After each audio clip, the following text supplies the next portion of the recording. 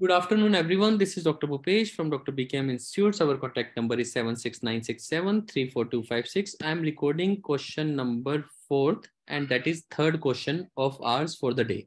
But I have told you the question number one and three, which we have attempted, were little difficult, were obviously little difficult. It, these were not easy, but still they were manageable with the help of grammar. It was all grammar based questions, and the people who have not listened to that question, they can uh, listen to these two recordings on the YouTube itself. And the YouTube videos are just prior to this particular video. So I'm recording this important question. इस question से you will learn lot of things about reading और मुश्किल नहीं होता सिर्फ़ लगता है आपको कंफ्यूज किया जाता है तो प्लीज़ समझ लेना the British study team favoured again पहले तो समझो ये फॉर्म कौन सी है सेकंड फॉर्म ईडी लगा हुआ है सेकंड फॉर्म यानी ब्रिटिश स्टडी टीम ने फेवर किया सर्वाइकोग्राफी को सिमियर टेस्ट के ऊपर ओवर का मतलब यानी सर्वाइकोग्राफी को फेवर किया over smear test even though. Even though का मतलब होता है इसके बावजूद भी। मतलब कहना क्या चाहता है कि ब्रिटिश टीम ने सर्वाइकोग्राफी को फेवर किया स्मियर टेस्ट के बजाय, जबकि जबकि सिमियर टेस्ट ज़्यादा पॉजिटिव होते हैं या फिर सर्वाइकोग्राफ ज़्यादा नेगेटिव होते हैं। मतलब कहने का मतलब यह है कि मैंने मैंने, अगर मैं आपको कहूँ, मैंने ओ टेस्ट को चूज़ किया।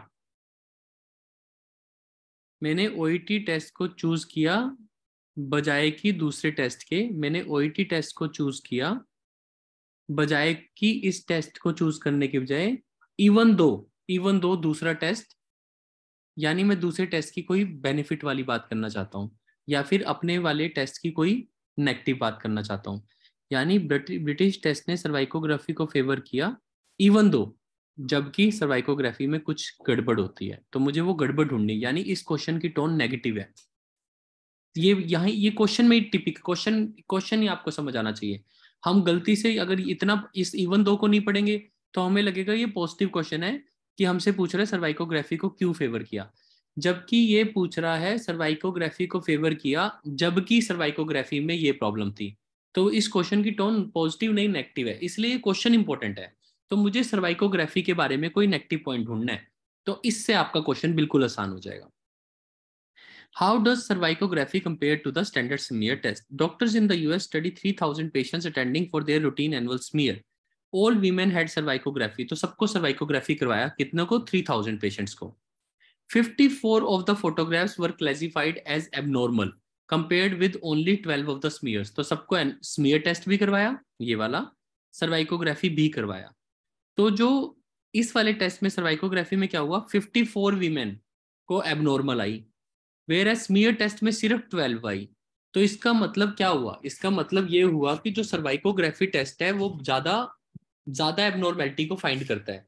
तो वैसे तो ये पॉजिटिव बात है, लेकिन हमें तो नेगेटिव बात ढूंढनी है। हमें नेगेटिव बात ढूंढनी है। अब British study was also encouraging Mike Campion, until recently also at the Royal Northern, examined 200 women attending a clinic for this medicine.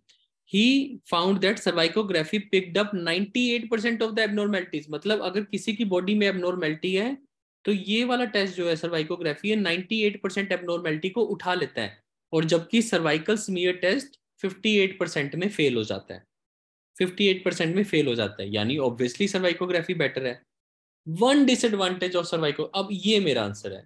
लेकिन एक ही डिसएडवांटेज है सर्वाइकोग्राफी की कि जो कोलोस्कोपिस्ट है, यानी कि जो देखने वाला स्पेशलिस्ट है is likely to call the women in for examination if her cervix looks at all suspicious problem क्या है? अब वो वीमेन जो 98 परसेंट वीमेन है, जो सॉरी इसमें 54 वीमेन है, वो सबको बुलाएगा सबको बुलाएगा। In Campion study 16% of the false positive rate is preferable to 58% false negative. चलो, ये तो रहने देते हैं।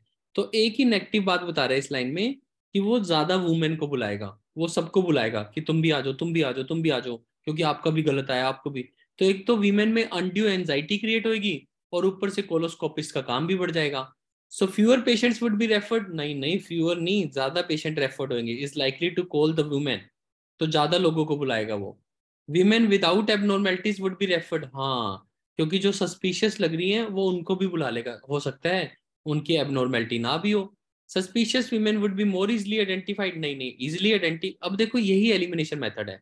इजिली आइडेंटिफाई कौन करेगा? इजिली आइडेंटिफाई तो ये सर्वाइकोग्राफी करेगा सिमियर टेस्ट वैसे भी ऑप्शन अगर आपको बाय चांस ये क्वेश्चन मिस भी हो जाता है। एलिमिनेशन मेथड तब भी आपकी हेल्प करता है, क्योंकि सस्पिशियस वीमेन इजिली आइडेंटिफाई होंगी स्पेयर में? नहीं नहीं। सस्पिशियस वीमेन तो इसमें ज़्यादा होंगी 54 सस्पिशियस वीमेन तो आइडेंटिफाई करना सर्वाइकोग्राफी में। तो ये ऑप्शन तो आपको वैसे ही बाहर निकाल देना चाहिए था। फिर आता है fewer patients would be referred यार जब एबनॉर्मेलिटी ज़्यादा ये फाइंड करेगा तो फ्यूअर वीमेन क्यों? ज़्यादा वीमेन जाएँगी ये भी आप एलिमिनेट कर सकते हैं। तो, तो फिर आपको बी करने में प्रॉब्लम नहीं होगी। जब बाकी दो ऑप्शन एलिमिनेट ही हो गए तो आंसर तो यही बनता है कि जो सस्पिशियस वुमेन है जिसमें एबनॉर्मेलिटी नहीं है उनको भी रेफर किया जाएगा कोलोस्कोपिस्ट के पास।